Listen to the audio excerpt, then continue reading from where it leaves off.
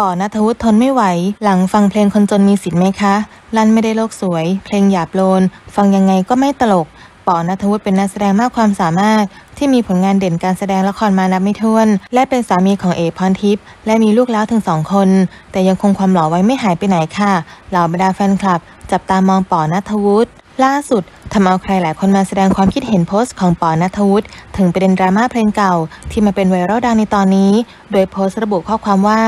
ก็ยังไม่เข้าใจอยู่ดี พยายามเข้าใจนะ ว่าผมอาจจะมาจากดาวดวงอื่น แต่ดันมีชีวิตมาจนถึงต้องอยู่อาศัยบนดาวดวงนี้ พยายามเข้าใจมาตลอด แต่หลายสิ่งที่รับไม่ได้จริง ๆ แล้วไม่ตลกด้วย คือมีการร้องเพลง แล้วใส่คำว่าอวัยวะเพศหญิงชาย ในเนื้อเพลง แล้วก็เห็นว่าเป็นเรื่องตลกขบขัน ผมว่ามันหยาบคายหยาบโลน ตื้นเขินไม่รับผิดชอบ และกังวลว่าเด็กๆ ในวัยที่ยังไม่พร้อม มาเปิดดูคลิปเพลงพวกนี้ จะเห็นว่าเป็นเรื่องธรรมดา ใครๆก็พูดกัน ใครๆก็ร้องกัน เราร้องบ้างดีกว่าสนุกฮาดี เอาจริงดิ นี่เรามาถึงจุดนี้ได้ยังไงกันครับ ผมไม่ได้โลกสวยนะ แต่ใครช่วยตอบผมที